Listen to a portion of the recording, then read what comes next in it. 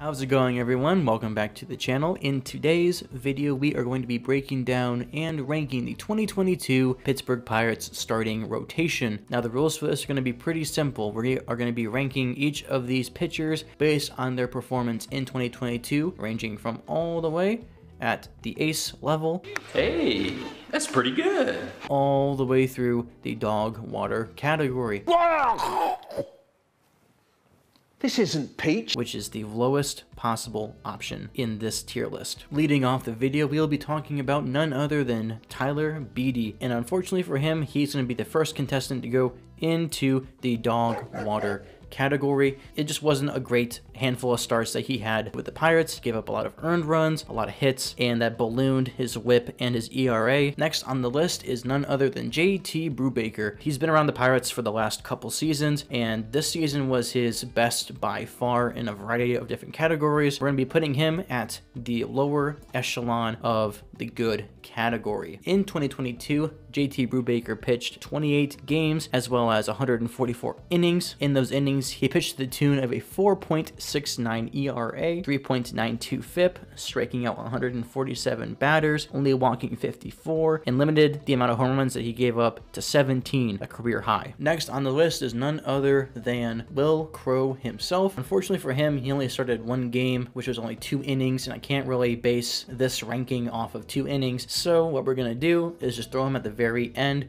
of the meh category. Next up is the man, the myth, the legend himself, Mitch Keller, the breakout star. He's to be at the very top of the good category based on what he did in 2022, breaking out in a big way during his age 26 season. As a Pirates fan, you either love Mitch Keller or you hate him, but you have to admit that this season was definitely his breakout season after debuting in 2019. In 29 games started and 159 innings pitched, Mitch Keller had a 3.91 ERA, 3.88 FIP, striking out 138 batters, only walking 60, and had a WHIP of 1.40. Across the board, Mitch Keller's advanced statistics skyrocketed to career highs. In K percentage, walk percentage, above all, Mitch Keller is starting to look like he's truly found himself again. After struggling for the past couple seasons, it's good to see him as confident as ever, and I can't wait to have him as number three or potential number two starter moving forward for the Pirates. Next up is Jared Eickhoff, and unfortunately for Eickhoff, he only pitched one game for the Buckos, and in that solo start, it was an absolute disaster. Sure, he struck out four batters. Unfortunately, he gave up a lot of earned runs and a lot of hits, which resulted in a very inflated ERA. So unfortunately for him, he's going to be at the top of the dog water category for this video. Next up was a pretty good surprise in Johan Oviedo. At 24 years old, Johan came to the Pittsburgh Pirates in the Jose Quintana trade with the St. Louis Cardinals. And after coming to the Pirates, he dominated in a huge way in seven games started. Hence why we are going to put him in the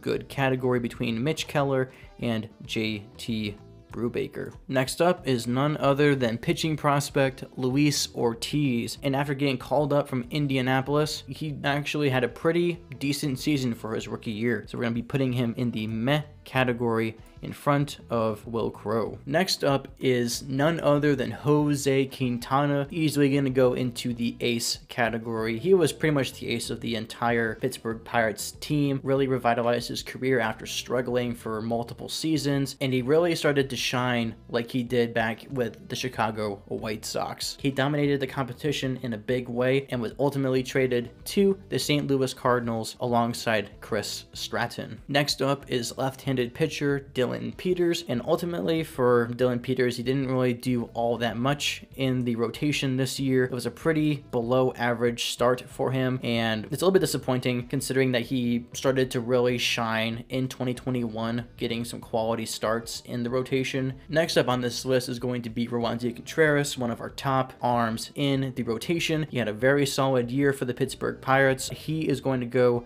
right in between Mr. Oviedo and Mitch Keller. As a starter for the Pittsburgh Pirates, in 87 and a third innings pitched, Contreras pitched to a 3.81 ERA, a 4.43 FIP, striking out 76 batters, walking 36, and only allowing 12 home runs all season. And I think that he's going to be a very solid number two, number three starter in this rotation moving forward, or even our future ace if he continues to develop the way that he is. Next up is Chris Stratton. He's in the same boat as Wil Crowe, so he's going to go at the very back end of the meh category. I can't grade him off of just two innings. Next up is going to be the first disappointing pitcher of the rotation, Zach Thompson, who was acquired in the Jacob Stallings trade. He's going to go into the disappointing category. But as a starter, things didn't really go as planned in his first official season with the Pittsburgh Pirates. His numbers weren't terrible, but in 22 games started, Zach Thompson in 102 innings pitched had a 5.19 ERA, striking out 76 batters, walking 41, and allowing 19 home runs. I'm optimistic that he can turn himself around. Next up is Duane Underwood Jr. He also had one start for the Pirates. I'm not gonna go super in depth with Mr. Underwood Jr., but he's in the same category as Wil Crowe and Chris Stratton. He did have a really nice year, and I'm pretty optimistic to see what he can do moving forward with this young team. Another player that I am very disappointed in is none other than Bryce Wilson. He's going to go right behind Zach Thompson in the disappointing category. I was expecting a lot more from Bryce. I know some people don't like him as much, but I was pretty optimistic when he came here in the Richard Rodriguez trade with the Atlanta Braves a couple seasons ago. He has the potential to be a very solid arm.